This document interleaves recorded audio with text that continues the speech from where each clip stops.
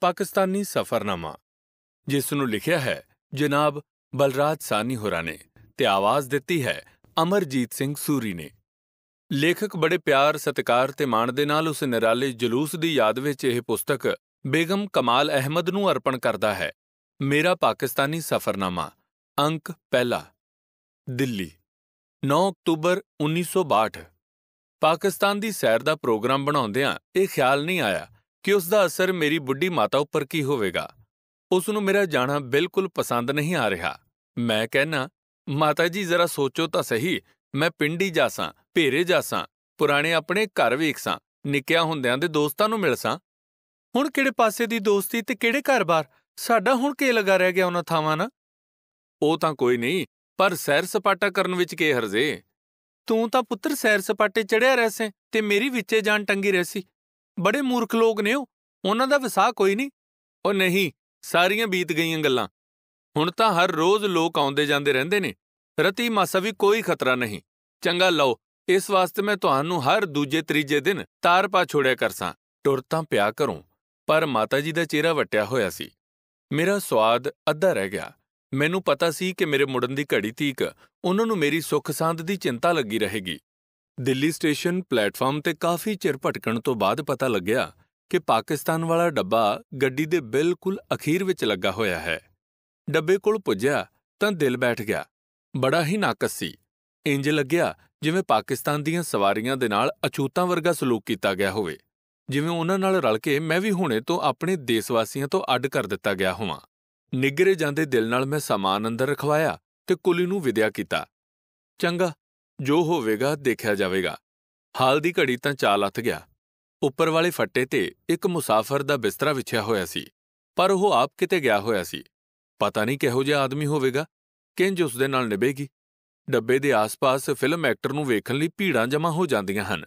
ਅੱਜ ਇੱਕ ਬੰਦਾ ਵੀ ਨੇੜੇ ਨਹੀਂ ਟੁਕਿਆ, ਜਿਵੇਂ ਪਾਕਿਸਤਾਨ ਜਾਣਾ ਕੋਈ ਬਹੁਤ ਵੱਡਾ ਅਪਰਾਧ ਹੋਵੇ। ਡੱਬੇ ਦੀ ਖਸਤਾ ਹਾਲਤ ਨੂੰ ਵੇਖ ਫਿਰ ਦੁੱਖ ਹੋਇਆ।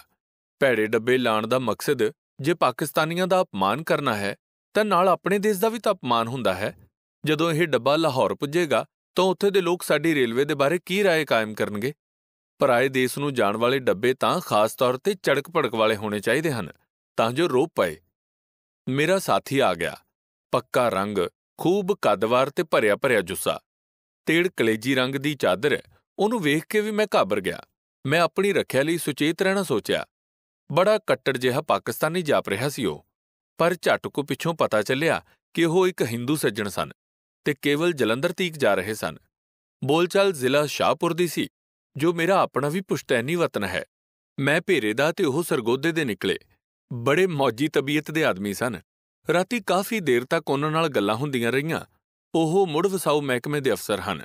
ਪਾਕਿਸਤਾਨ ਦੇ ਕਈ ਵਾਰੀ ਚੱਕਰ ਲਗਾ ਚੁੱਕੇ ਹਨ। ਦਿੱਲੀੋਂ ਗੱਡੀ ਟੁਰਨ ਤੋਂ ਪਹਿਲਾਂ ਹੀ ਸਾਡੀ ਆਪਸ ਵਿੱਚ ਕਾਫੀ ਖੁੱਲਡੁਲ ਹੋ ਗਈ। ਡੱਬੇ ਦੇ ਬਾਹਰ ਦਰਸ਼ਕਾਂ ਦੀ ਭੀੜ ਵੀ ਹਮੇਸ਼ਾ ਵਾਂਗ ਸੱਜ ਗਈ ਸੀ। ਸ਼ੁਰੂ-ਸ਼ੁਰੂ ਵਿੱਚ ਮੇਰੇ ਅੰਦਰ ਭੈ ਪੈਦਾ ਹੋਣ ਦਾ ਕਾਰਨ ਵਹਿਮ ਤੋਂ ਛੁੱਟ ਹੋਰ ਕੁਝ ਵੀ ਨਹੀਂ ਸੀ। ਜਿਵੇਂ ਵਹਿਮ ਜੰਮਿਆ, ਉਂਝ ਹੀ ਮਰ ਵੀ ਗਿਆ। ਡੱਬੇ ਨੂੰ ਸਭ ਤੋਂ ਪਿੱਛੇ ਜੋੜਨ ਦਾ ਕਾਰਨ ਕੇਵਲ ਇਹੋ ਸੀ ਕਿ ਉਸ ਨੂੰ ਅੰਮ੍ਰਿਤਸਰ ਪੁੱਜ ਕੇ ਆਸਾਨੀ ਨਾਲ ਕੱਟ ਕੇ ਦੂਜੇ ਪਲੇਟਫਾਰਮ ਤੇ ਲਿਜਾਇਆ ਜਾ ਸਕੇ। ਡੱਬੇ ਦੇ ਘਟਿਆ ਹੋਣ ਦਾ ਵੀ ਇਸ ਮਿੱਤਰ ਨੇ ਕਾਰਨ ਦੱਸਿਆ। ਇਹ ਡੱਬਾ ਦਰਅਸਲ ਉਸ ਗੱਡੀ ਦਾ ਭਾਗ ਹੈ ਜਿਹੜੀ ਕੇਵਲ ਅੰਮ੍ਰਿਤਸਰ ਤੇ ਲਾਹੌਰ ਵਿਚਾਲੇ ਚੱਲਦੀ ਹੈ। ਮਸਾਂ 30 ਕੁ ਮੀਲ ਦਾ ਪੈਂਡਾ ਹੋਣ ਕਰਕੇ ਸਾਡੀ ਰੇਲਵੇ ਨੂੰ ਚੰਗਾ ਇੰਜਣ ਜਾਂ ਚੰਗੇ ਡੱਬੇ ਲਾਉਣ ਵਿੱਚ ਕੋਈ ਲਾਭ ਨਹੀਂ। ਬਹੁਤਾ ਕਰਕੇ ਪਾਕਿਸਤਾਨੋਂ ਅੰਮ੍ਰਿਤਸਰ ਪੁੱਜਦਿਆਂ ਹੀ ਯਾਤਰੂ ਦਿੱਲੀ, ਕਲਕੱਤੇ, ਬੰਬਈ ਆਦਿ ਦੂਰ-ਦੂਰ ਥਾਵਾਂ ਦੇ ਲਈ ਤੇਜ਼ ਰਫ਼ਤਾਰ ਗੱਡੀਆਂ ਉੱਤੇ ਸਵਾਰ ਹੋ ਜਾਂਦੇ ਹਨ। ਇਸ ਵਿੱਚ ਵਿਤਕਰੇ ਵਾਲੀ ਕੋਈ ਗੱਲ ਨਹੀਂ। ਇਹ ਸੇਵਾ ਵੀ ਸਿਰਫ ਹਿੰਦੁਸਤਾਨ ਹੀ ਕਰਦਾ ਹੈ। ਪਾਕਿਸਤਾਨ ਦੀ ਕੋਈ ਗੱਡੀ ਸਰਹੱਦ ਪਾਰ ਕਰਕੇ ਇੱਧਰ ਨਹੀਂ ਆਉਂਦੀ। ਮੇਰੇ ਸਾਥੀ ਨੇ ਮੈਨੂੰ ਵਿਸ਼ਵਾਸ ਦਿਵਾਇਆ ਕਿ ਮੇਰਾ ਪਾਕਿਸਤਾਨ ਦਾ ਸਫ਼ਰ ਬੜਾ ਪੁਰਲੁਤਫ ਰਹੇਗਾ। ਮਹਿਮਾਨ ਨਵਾਜ਼ੀ ਉਹਨਾਂ ਲੋਕਾਂ ਤੇ ਖਤਮ ਹੈ।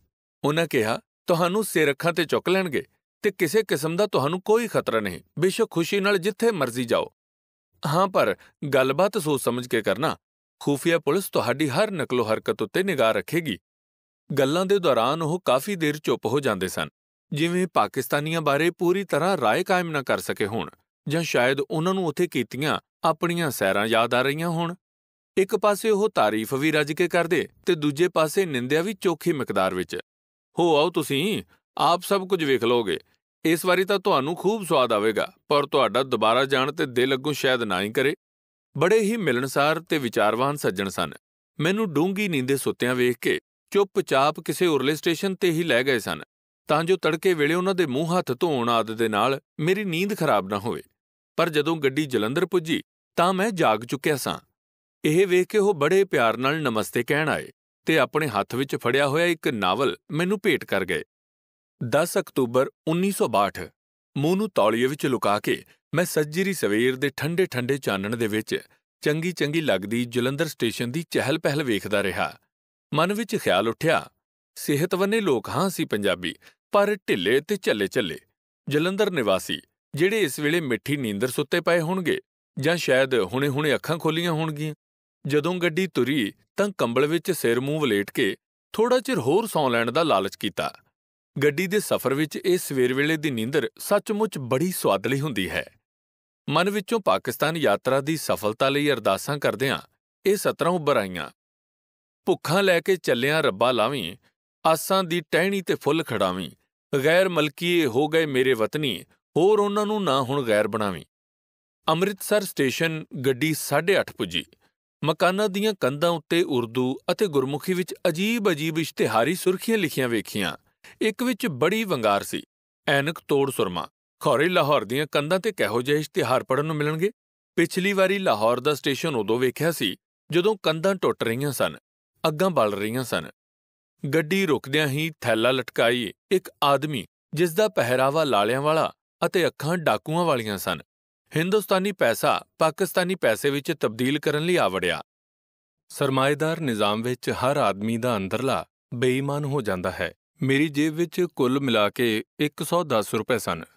ਜੇ ਸਾਰੇ ਦੇ ਸਾਰੇ ਤਬਦੀਲ ਕਰ ਲਵਾਂ, ਤਾਂ ਸੰਭਵ ਹੈ ਕਿ ਸਾਰੇ ਹੀ ਪੈਸੇ ਕਸਟਮ ਵਾਲੇ ਮੈਨੂੰ ਅੱਗੇ ਲਿਜਾਣ ਦੇਣ। ਉਂਝ ਤਾਂ ਸਿਰਫ 75 ਰੁਪਏ ਦੇਸੋਂ ਬਾਹਰ ਲਿਜਾਣ ਦੀ ਇਜਾਜ਼ਤ ਹੈ। ਮੈਂ 100 ਦਾ ਨੋਟ ਉਸ ਨੂੰ ਫੜਾਉਂਦਿਆਂ ਆਪਣੇ ਲਾਲਚ ਦੀ ਤਸਦੀਕ ਕਰਨ ਖਾਤਰ ਪੁੱਛਿਆ। 75 ਤੋਂ ਜ਼ਿਆਦਾ ਕੀ? ਆਹੋ ਜੀ, ਤੇ ਅਸਾਂ ਤੁਹਾਨੂੰ ਕਿਹੜੇ ਵੱਧ ਦੇਣੇ ਆ? ਉਹਨੇ ਵਿੱਚੋਂ ਟੋਕਦਿਆਂ 5 ਰੁਪਏ ਹਿੰਦੁਸਤਾਨੀ, ਬਾਕੀ ਪਾਕਿਸਤਾਨੀ ਨੋਟਾਂ ਵਿੱਚ ਛੇਤੀ-ਛੇਤੀ ਗਿਣ ਕੇ ਹਵਾਲੇ ਕੀਤੀ ਤੇ ਟੁਰਦਾ ਬਣਿਆ। ਉਹਦੀ ਫੁਰਤੀ ਨੇ ਹੁਣ ਮੈਨੂੰ ਡੋਬੂ ਪਾ ਦਿੱਤੇ। ਖੌਰੇ ਕੀ ਸੀ ਤੇ ਕੌਣ ਨਹੀਂ ਸੀ? ਪਤਾ ਨਹੀਂ ਅਸਲੀ ਨੋਟ ਦਿੱਤੇ ਸੂ ਕਿ ਨਕਲੀ। ਭਲਾ ਮੈਨੂੰ ਇੱਕ ਅਣਜਾਣ ਆਦਮੀ ਦੇ ਨਾਲ ਸੌਦਾ ਕਰਨ ਦੀ ਕੀ ਜਲਦੀ ਪਈ ਸੀ? ਰੁਪਏ ਪਾਕਿਸਤਾਨ ਪੁੱਜ ਕੇ ਨਹੀਂ ਸਨ ਬਦਲੇ ਜਾ ਸਕਦੇ? ਇਸ ਸੌਦੇ ਦਾ ਮੈਨੂੰ ਕੀ ਫਾਇਦਾ ਹੋਇਆ? ਜੇ ਵਾਹ ਪਾਣਾ ਹੀ ਸੀ ਤਾਂ ਫਿਰ ਆਪਣੇ ਮੂੰਹ 75 ਕਹਿਣ ਦੀ ਕੀ ਲੋੜ ਸੀ? ਜੇ ਨਾ ਬੋਲਦਾ, ਤਾਂ ਸ਼ਾਇਦ ਉਹ ਚੁੱਪਚਾਪ 100 ਹੀ ਬਦਲ ਦਿੰਦਾ। ਆਪਣੀ ਗੈਰ ਕਾਨੂੰਨੀ ਕਮਿਸ਼ਨ ਕੱਟ ਕੇ ਮੇਰੇ ਬੋਲਣ ਨਾਲ ਉਸ ਨੂੰ ਜ਼ਰੂਰ ਮੇਰੇ ਪਾਰਸਾ ਹੋਣ ਦਾ ਸ਼ੱਕ ਪੈ ਗਿਆ ਹੋਣਾ। ਇਸੇ ਕਰਕੇ ਜਲਦੀ ਖਿਸਕਣ ਦੀ ਕੀਤੀ ਉਹਨੇ। ਉਹ ਜਾਲੀ ਨੋਟ ਥਮਾ ਗਿਆ ਹੋਵੇ ਤਾਂ ਕੀ ਕਰ ਸਕਣਾ? ਤੇ ਲਾਹੌਰ ਪੁੱਜ ਕੇ ਕੀ ਹੋਵੇਗਾ? ਬੰਬਈੋਂ ਤੁਰਨ ਵੇਲੇ ਡਾਕਟਰ ਅਹਿਮਦ ਨੂੰ, ਜਿਨ੍ਹਾਂ ਮੈਨੂੰ ਪਾਕਿਸਤਾਨ ਆਉਣ ਦਾ ਸੱਦਾ ਦਿੱਤਾ ਸੀ ਤਾਰ ਜ਼ਰੂਰ ਪਾਈ ਸੀ ਤੇ ਦਿੱਲੀ ਟੁਰਨ ਤੋਂ ਪਹਿਲਾਂ ਉਹਨਾਂ ਦਾ ਜਵਾਬ ਵੀ ਆ ਗਿਆ ਸੀ। ਫਿਰ ਵੀ ਪਹਿਲੇ ਦਿਨ ਉਹਨਾਂ ਤੋਂ ਪੈਸੇ ਤਾਂ ਨਹੀਂ ਮੰਗਣ ਲੱਗ ਪੈਣਾ। ਕੀ ਪਤਾ ਉਹਨਾਂ ਮੇਰੇ ਠਹਿਰਨ ਦਾ ਇੰਤਜ਼ਾਮ ਕਿਸੇ ਹੋਟਲ ਵਿੱਚ ਕੀਤਾ ਹੋਵੇ। ਨਾ ਹੋਵੇ ਤਕਲੀਫ ਤਾਂ ਭਾਵੇਂ ਨਾ ਵੀ ਹੋਵੇ, ਪਰ ਜੇ ਆਖਲੋਤੀ ਤਾਂ ਫਿਰ ਮੈਨੂੰ ਆਪਣੇ ਉੱਤੇ ਗੁੱਸਾ ਆਉਣ ਲੱਗ ਪਿਆ। ਬੇਕਾਇਦਾ ਕੰਮ ਕਰਨ ਦਾ ਮੈਨੂੰ ਲੋਭ ਹੀ ਕਿਉਂ ਹੋਇਆ?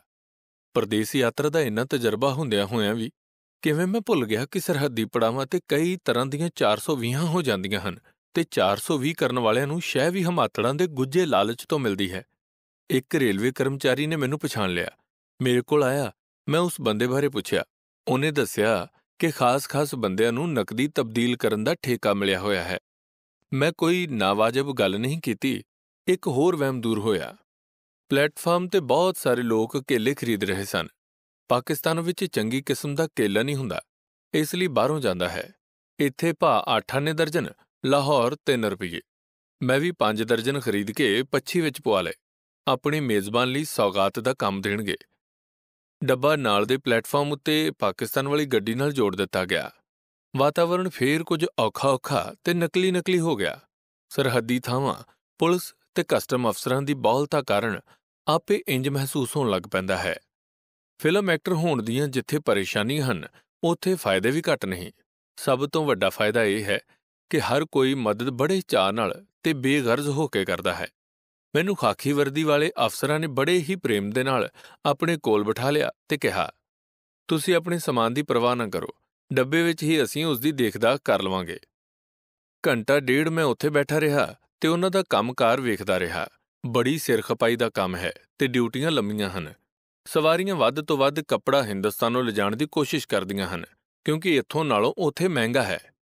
ਇੱਕ ਬਾਂਕਾ ਜਿਹਾ ਮੁਸਲਮਾਨ ਗੱਭਰੂ ਇੱਕ ਅਫਸਰ ਨੂੰ ਖੁਸ਼ ਕਰਨ ਦੀਆਂ ਬੜੇ ਚੁਸਤ ਢੰਗ ਨਾਲ ਕੋਸ਼ਿਸ਼ਾਂ ਕਰ ਰਿਹਾ ਸੀ। ਉਹਦੇ ਤੇੜ ਸਿਲਕ ਦੀ ਨੀਲੀ ਨਵੀਂ ਨਕੋਰ ਚਾਦਰ ਸੀ, ਜਿਹਨੂੰ ਯਕੀਨਨ ਉਹ ਵੇਚ ਦੇਵੇਗਾ। 10-12 ਹੋਰ ਚਾਦਰਾਂ ਉਸ ਦੇ ਸਮਾਨ ਵਿੱਚ ਸਨ। ਅਫਸਰ ਨੇ ਪੰਜ ਮਾਫ ਕੀਤੀਆਂ, ਪਰ ਉਹ ਤਿੰਨ ਹੋਰ ਬਿਨਾਂ ਟੈਕਸ ਦਿੱਤੇ ਲੈ ਜਾਣਾ ਚਾਹੁੰਦਾ ਸੀ। ਕਦੇ ਹੱਥ ਜੋੜਦਾ, ਕਦੇ ਅਫਸਰਾਂ ਦੀਆਂ ਲੱਤਾਂ ਘੁੱਟਣ ਲੱਗ ਪੈਂਦਾ। ਮੇਰਠ ਵਾਲੇ ਪਾਸੇ ਦਾ ਆਦਮੀ ਸੀ ਸ਼ਾਇਦ। ਪਟੇ ਬੜੇ ਸੋਹਣੇ ਵਾਏ ਹੋਏ, ਮੂੰਹ ਵਿੱਚ ਪਾਨ, ਬੋਸਕੀ ਦੀ ਕਮੀਜ਼, ਬਟਨ ਖੁੱਲੇ, ਉਹਦੀਆਂ ਹਰਕਤਾਂ ਇੱਕ ਸੁਗੜ ਮਸਖਰੇ ਐਕਟਰ ਵਰਗੀਆਂ ਸਨ। ਅਖੀਰ ਜਦ ਉਹਦਾ ਸਾਮਾਨ ਪਾਸ ਹੋ ਗਿਆ, ਤਾਂ ਉਹਨੇ ਆਪਣੀ ਜੇਬ ਵਿੱਚੋਂ ਖੁਸ਼ਬੂਦਾਰ ਚੁਰਟਾਂ ਦਾ ਪੈਕਟ ਕੱਢਿਆ ਤੇ ਚੁਰਟ ਵੰਡਣੇ ਸ਼ੁਰੂ ਕੀਤੇ। ਕੋਈ ਵੀ ਲੈਣ ਨੂੰ ਤਿਆਰ ਨਹੀਂ ਸੀ, ਪਰ ਉਹ ਜ਼ਬਰਦਸਤੀ ਸਾਡੇ ਬੋਝਾਂ ਵਿੱਚ ਇੱਕ ਇੱਕ ਪਾਈ ਜਾਂਦਾ ਸੀ, ਅਖੇ ਕਿਸੇ ਹੋਰ ਨੂੰ ਪਿਆ ਦੇਣਾ। ਜੰਗਲੇ ਤੋਂ ਬਾਹਰ ਜਾ ਕੇ ਉਹਨੇ ਆਪਣਾ ਸਾਮਾਨ ਗੱਡੀ ਵਿੱਚ ਰਖਾਇਆ ਤੇ ਫੇਰ ਮੁੜ ਕੇ ਜੰਗਲੇ ਕੋਲ ਆ ਖਲੋਤਾ ਉਹਦੀਆਂ ਅੱਖਾਂ ਵਿੱਚ ਆਪਣਾਤ ਦੀ ਭਾਵਨਾ ਸੀ, ਜਿਵੇਂ ਕਹਿ ਰਹੀਆਂ ਹੋਣ। ਤੁਹਾਨੂੰ ਕਿਵੇਂ ਸਮਝਾਵਾਂ ਕਿ ਮੈਂ ਤੁਹਾਡਾ ਆਪਣਾ ਹੀ ਬੰਦਾ ਹਾਂ? ਹਿੰਦੁਸਤਾਨੀ ਹੋਣ ਦਾ ਮੈਨੂੰ ਓਨਾ ਹੀ ਮਾਣ ਹੈ ਜਿੰਨਾ ਤੁਹਾਨੂੰ।